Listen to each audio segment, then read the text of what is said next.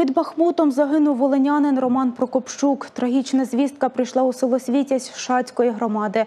Життя захисника обірвалося 22 травня у місті Часів Яр Бахмутського району Донеччини. Романові було всього 24 роки. Наші співчуття рідним та близьким захисника.